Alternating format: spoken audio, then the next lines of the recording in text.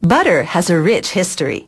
The ancient Romans used it as a beauty cream and to treat burns. Even the Old Testament mentions butter. Abraham served it to angels. Back then, people made butter by shaking milk in bags of animal skin or in hollow logs. Today, its glorious taste is a product of modern technology. Butter making begins with a tanker truck delivery to the dairy, 30,000 liters of raw cow's milk. Workers test it for consistent color and odor before unloading it through vacuum-pumped hoses. They pump the raw milk into a machine called a separator. The separator spins, dividing the raw milk's fat from the rest of the liquid. The fat is called buttercream, and the rest is skim milk. The essential ingredient in butter is the buttercream. It's thick, off-white, and approximately 38% fat. Some of it goes to make 2% milk, a worker adjusts a valve to reinsert some into the skim milk. The resulting 2% milk is more watery than buttercream and is white. The less the fat content, the thinner and runnier the milk is.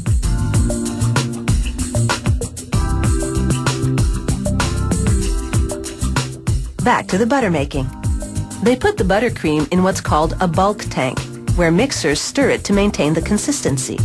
After pasteurizing and then aging the buttercream for 24 hours, workers prepare to transfer it into another machine called the churner. First they clean the inside by filling it with water mixed with iodine. This removes any germs left behind by the previous batch. They spin the churner for about 5 minutes before rinsing it out.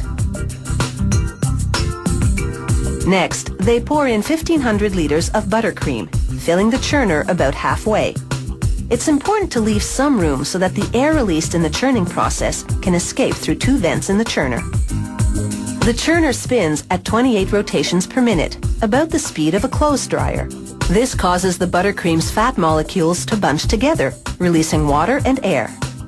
Every five minutes, a worker stops the churner and regulates the air vent on top. When he feels there's no more air escaping, he closes the valve and restarts the machine. After 30 minutes of churning, the fat molecules in the buttercream are creamy clumps known as popcorn butter.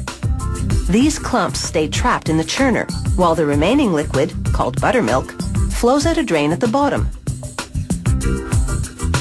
A vacuum pump system sends it through hoses to a nearby container. This draining process takes about 10 minutes and produces about 800 liters of buttermilk. This dairy uses the buttermilk to make ice cream.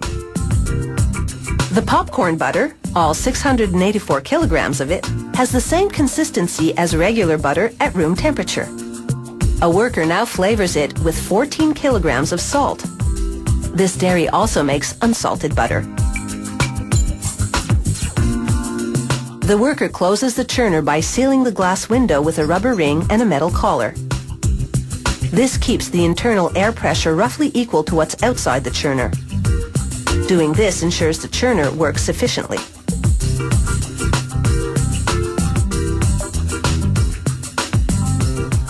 Another 30 minutes of churning and the fat molecules thicken even more and blend with the salt. What results is butter which is yellow because of its natural vitamin A.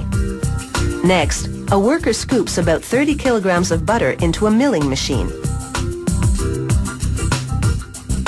The mill moves the butter into the final production phase, where it'll be shaped and put into packages.